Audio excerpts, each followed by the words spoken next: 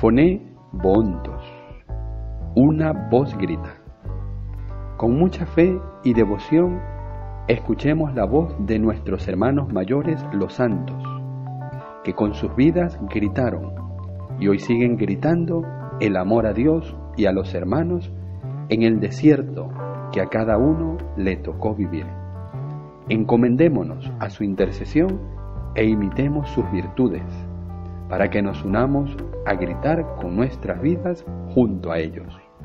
Chalón Beto, paz y bien. 29 de septiembre, San Miguel, San Gabriel, San Rafael.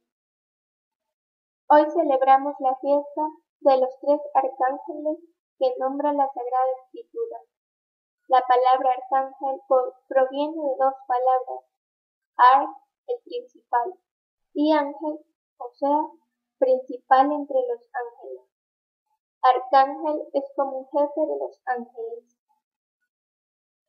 San Miguel. Este nombre significa ¿quién como Dios? o nadie es como Dios. A San Miguel lo nombra tres veces la Santa Biblia.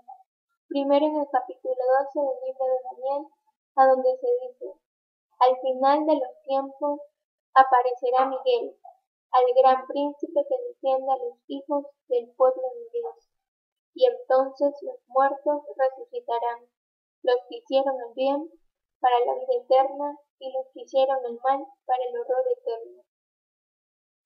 En el capítulo 12 del libro del Apocalipsis se cuenta lo siguiente. Hubo una gran batalla en el cielo. Miguel y sus ángeles combatieron contra Satanás y los suyos, que fueron derrotados y no hubo lugar para ellos en el cielo. Y fue arrojada la serpiente antigua, el diablo, el seductor del mundo. Ay de la tierra y del mar, porque el diablo ha bajado a vosotros con gran furor, sabiendo que le queda poco tiempo. En la carta de San Judas Tadeo se dice, el arcángel San Miguel, cuando se le enfrentó al diablo, le dijo, que te castigue el Señor. Por eso a San Miguel lo pintan atacando a la serpiente infernal. La Iglesia Católica ha tenido siempre una gran devoción al arcángel San Miguel, especialmente para pedirle que nos libre de los ataques del demonio y de los espíritus infernales y Él cuando lo invocamos llega a defendernos con el gran poder que Dios le ha concedido.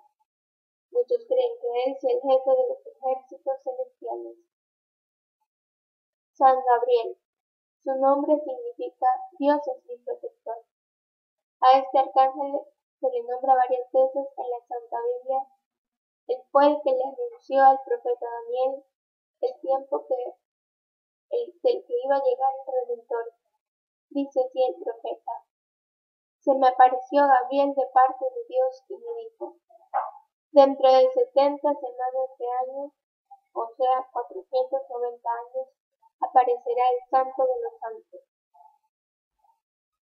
Al arcángel San Gabriel se le confió la misión más alta que jamás se le haya confiado a criatura Señor, anunciar la encarnación del Hijo de Dios, por eso se le venera mucho desde la antigüedad. Su carta de presentación cuando se le apareció a Zacarías para anunciarle que iba a tener por hijo a Juan Bautista fue esta. Yo soy Gabriel, el que está en la presencia de Dios.